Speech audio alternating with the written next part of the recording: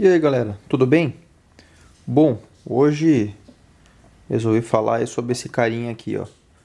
É um teclado uh, sem fio, marca Logitech. Tem aqui o modelo dele. Cadê? Deixa eu achar aqui, Logitech. É o K400. Tá aqui ele. Tem mouse touch, né? Junto. Dispensa o uso do mouse separado. Tá aqui, ó. K400R. Bom, gente pode ver, eu uh, assisto bastante filmes aí que eu baixo, né? Uh, conectando o computador, o HDMI do computador na TV, né?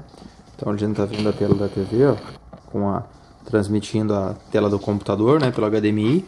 E eu tinha esse problema aí quando eu queria assistir filme, alguma coisa, passar clipes, vídeos do YouTube aí, quando aí teria que tá, tem que sempre ir lá em direção ao computador navegar, né? Então, assim eu posso deixar o computador lá, né? E vocês podem ver, deixa eu aproximar da tela aqui, ó.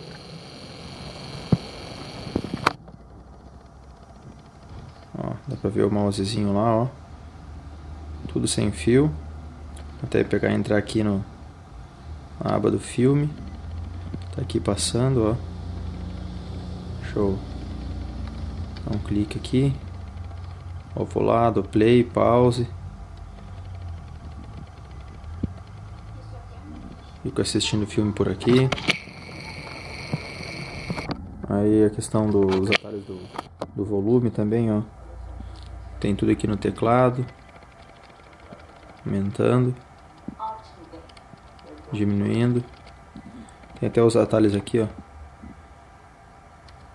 da play pause, bem, bem bacaninha. Então, teclado aqui, sem nenhum mistério, a instalação, da sair fora aqui, simplesmente uh, vem junto o adaptadorzinho USB, tá aqui ele, ó, foi só conectar no USB,